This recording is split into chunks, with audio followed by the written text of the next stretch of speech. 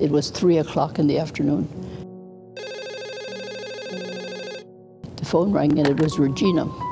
And she said, you know, I just heard on KMOX that the, um, there were five, there are five sisters in uh, Monrovia who are missing. She said, do you think that could be our sisters? I said, Regina, they are our sisters because I had been there in the summer before and I knew who was there. So then they called back and said the, the sisters were in their convent. There was no, no problem. They were not missing. I don't know how they ever determined that because they were all dead by that time.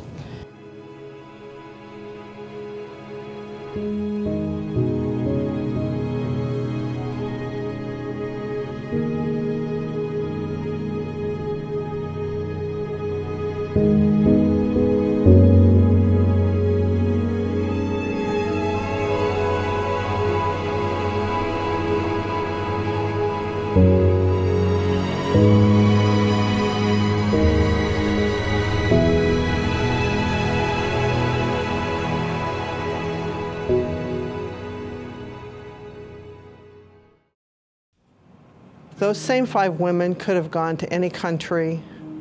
They could have remained working in southern Illinois. They would have done the exact same things that they were doing in Liberia. They would have been teaching, they would have been working in hospitals or clinics. The work that they were doing in Liberia was not any different than anything else that any of our other sisters did. And the sacrifice that they gave uh, was a sacrifice for them, for their families, for all of our community, to be with the people of Liberia.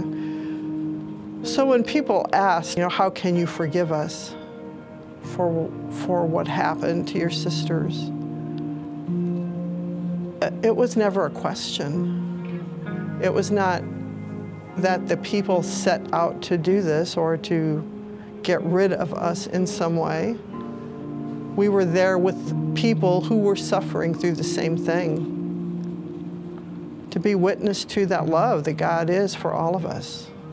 That's, that's what we do. That's what we're about.